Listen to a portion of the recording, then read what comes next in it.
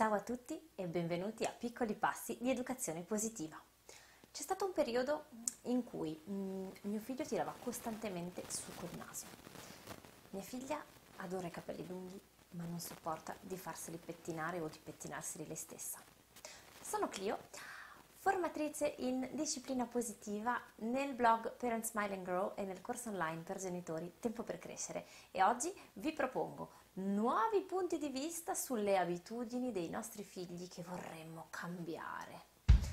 Un respiro, un sorriso e cominciamo.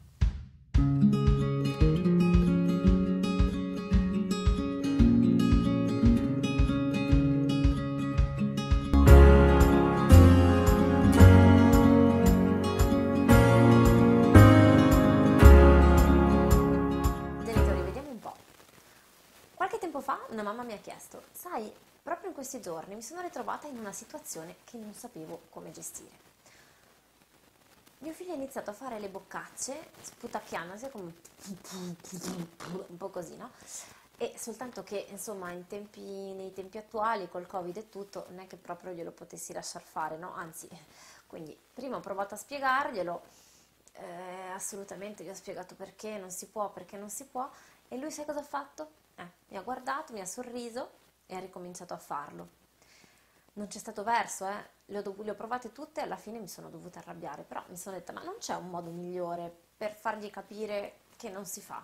Forse vi è capitato no, anche a voi di affrontare una situazione simile, un bambino che si scaccola, mm, si mangia le unghie, scopre la parolaccia che assolutamente non si deve dire e non fa altro che ripeterla tutto il tempo, non si lava mai, come fare a cambiare le cattive abitudini dei nostri figli. Sarebbe facile, no? Se potessimo cambiare così facilmente eh, i comportamenti che non vanno dei nostri bambini, se bastasse chiedere.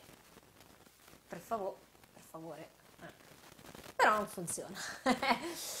Anzi, di solito più insistiamo, più chiediamo, più facciamo notare che non si fa, eccetera, eccetera, più continuano.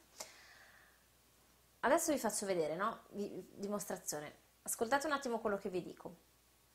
Mi raccomando, non pensate a un elefante. Ah, e ti ho detto di non pensare all'elefante? Vedi che stai pensando all'elefante? Per i comportamenti dei nostri bambini è un po' la stessa cosa. Più noi stiamo lì a dire di non farlo e insistiamo, e più il comportamento peggiora. Magari l'abitudine nasce per caso, no? Magari il bambino è lì vabbè, l'esplorazione del naso la conosciamo tutti, magari a un certo punto rannoiato si è messo la mano in bocca, ciucciando di qua, cercando di là, si è messo a mordicchiare l'unghia, ehm, magari ha sentito, ha visto un personaggio di un cartone animato fare una boccaccia e l'ha provata, magari ha sentito una parola che non conosceva detta da un altro compagno.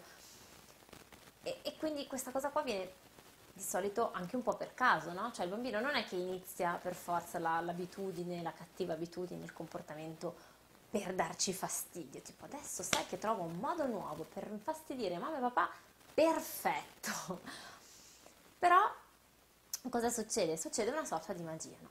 Cioè il bambino, cioè gna, gna, mordicchia, dice la parolaccia, e mamma e papà improvvisamente si voltano verso di lui, spalancano gli occhi Grottano le sopracciglia. Cosa fai?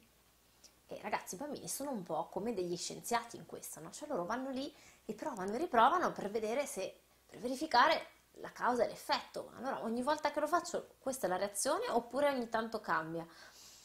E poi, e poi scoprono anche una cosa incredibile, no? Cioè, quanta attenzione, quanto potere hanno su noi adulti, i bambini con quei comportamenti lì. Cioè, ma papà erano tranquilli, stavano facendo tutt'altro, hanno persi col telefono. A me, a me è bastato dire una roba e loro si sono girati. Ah! Ma è magico, aspetta che riprovo, eh? Andiamo un'altra volta, vediamo se succede un'altra volta così. Allora, qual è la, la, la cosa, no? Che magari non, queste abitudini non nascono per niente come un modo per darci fastidio, nascono casualmente, però però i bambini saranno sicuramente pronti a entrare nel gioco se noi lo rendiamo tale. Può essere difficile, eh? lo so, l'ho sperimentata anch'io, cioè tu sei lì magari in situazioni in pubblico e il bambino fa una roba che è so- socialmente inaccettabile o comunque che non si fa, davanti a tutti e tu gli chiedi di smettere e lui non lo fa, è una di quelle cose che più ti fa sentire assolutamente, completamente impotente. E ti svelo un segreto, è così perché siamo davvero impotenti. Se pensiamo di poter controllare il comportamento del bambino. Se il nostro obiettivo è quello di costringere il bambino, allora sì, siamo assolutamente impotenti.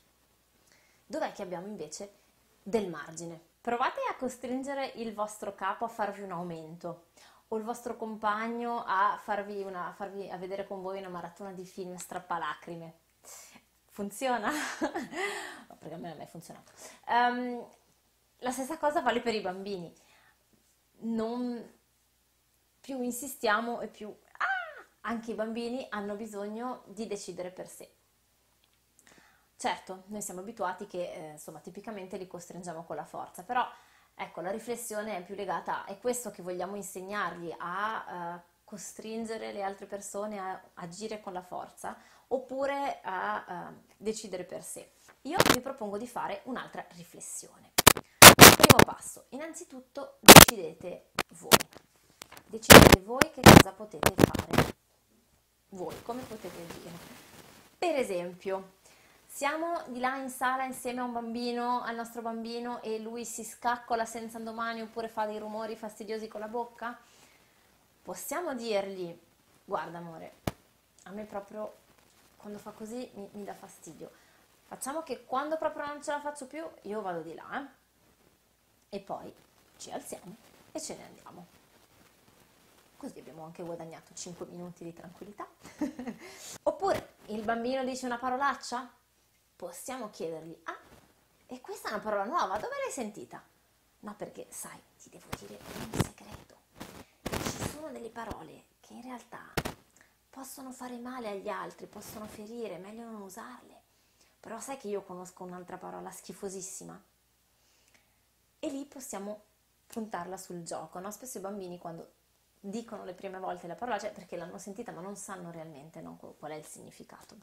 E non so se avete notato che ci sono quelle fasi eh, intorno ai 4-5 anni in cui i bambini adorano dire tutte le cose legate a pipì, vomito, cose un po' schifose. Ecco, lì possiamo cogliere la, palza, la palla al balzo e trasformarlo in un gioco. In cui noi diciamo, riempiamo di tutte queste parole che ai loro orecchi sono volgari, sono trasgressive, ma che invece noi sappiamo essere sicure. Oppure ancora, sputacchia, prevediamo un apprendistato in un posto che a lui piace, tipo il parco, no?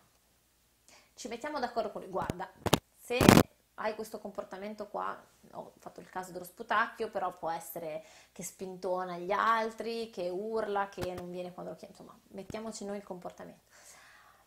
Allora, guarda, quando succede che fai così, dobbiamo, io vengo, ti prendo per la manina e dobbiamo tornare a casa, ok? Però se tu invece scegli di non farlo, tutto a posto. E la prima volta che compare il comportamento, gli prendiamo la manina e lo portiamo a casa.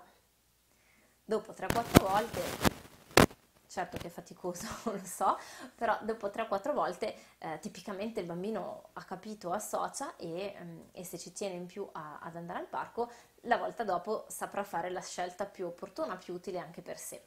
Secondo step, vogliamo capire cosa c'è dietro, no? se questa nuova questa abitudine, questo comportamento è il riflesso di una tensione, di uno stress che il bambino può, può avere.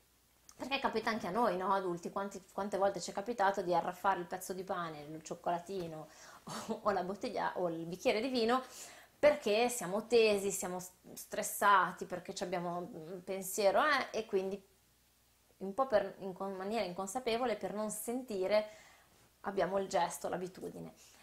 Per i bambini può essere anche un po' la stessa cosa, quindi può essere interessante far loro esprimere questa cosa e quindi possiamo incoraggiarli a dirci, a raccontarci e noi ascoltare cosa c'è, cosa succede, come si sentono. Possiamo anche eh, usare i giochi di ruolo in cui facciamo il gioco del fare finta oppure usare delle domande no? in cui incoraggiamo, ci mostriamo curiosi realmente. Um, un trucchetto che a volte funziona è quello di fare delle domande assolutamente assurde, che il bambino sa essere assurdo, tipo scusami, ma dimmi un po', ma tu ti mangi le unghie perché ti vuoi, rendere i denti più appuntiti? Vabbè, proprio assurdo. Di solito il bambino, ovviamente dipende dall'età, eh? con i bambini più grandi no, però i bambini piccoli tipicamente ti guardano come se fossi uscito da un altro pianeta, come dire ma sei matto, e, e rispondono dicendo ma no, è perché e ti danno il vero motivo. Può essere un'astuzia che funziona. Terzo passo, capitolo a parte per la prevenzione. Perché? Pensiamoci bene, no? se tutto questo a Maradan eh, di gesto che non va a noi, che diciamo non si fa, cosa fai mamma mia, attenzione bambino che ripete perché vede che così ha una sorta di potere magico su di noi, ha la nostra attenzione, quindi circolo vizioso. Se tutto questo viene fuori, no? in fondo, dal bisogno del bambino di avere la nostra attenzione, di sentirsi importante ai nostri occhi, possiamo eh, giocare un po' d'anticipo, diciamo così. Possiamo usare eh, quello che è un, in realtà un regalo che, di cui spesso ci dimentichiamo, che è il regalo dell'attenzione.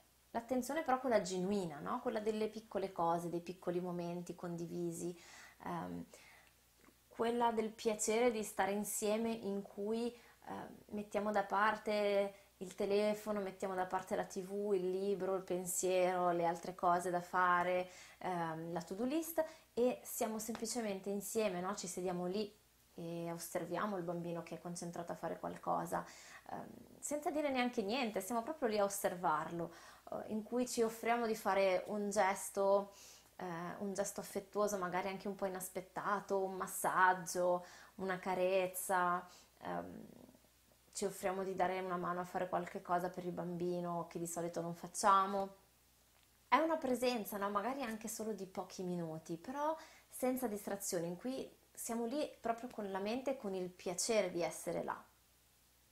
Sono in fondo anche poi quei momenti eh, che coltiviamo nella memoria, no? nel cuore, di cui ci piace, eh, che ci piace ricordarci, che ci fanno sentire bene ci riempiono il cuore. Quindi riassumendo, 1. Decido quello che posso fare e che voglio fare io. 2.